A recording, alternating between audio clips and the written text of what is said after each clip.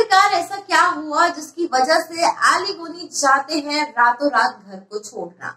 Well well, shocked हम भी हुए थे लेकिन चलिए जानते हैं बात क्या है। नमस्कार मैं हृदम ठाकुर स्वागत करती हूँ आप सभी का बॉलीवुड हेडलाइंस में। भाई दरअसल बिग बॉस के घर में बड़े लड़ाई झगड़े चल रहे हैं। बड़े मतलब बड़े वाले लड़ाई झगड़े चल रहे हैं।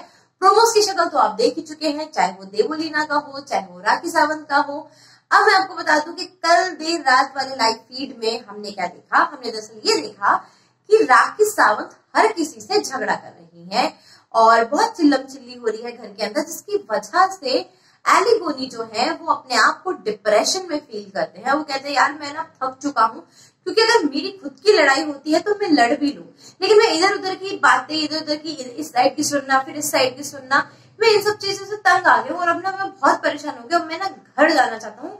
मेरा कोई भरोसा नहीं कि मैं भाग के दीवार कान के भी अगर मैं चला जाऊँ तो इस बात का कोई भरोसा नहीं है।